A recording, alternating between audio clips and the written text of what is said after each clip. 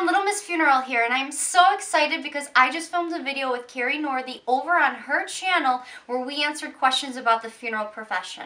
So make certain that you head over to her channel, like, comment, and subscribe to her if you haven't done so already, and I'll see you all over there.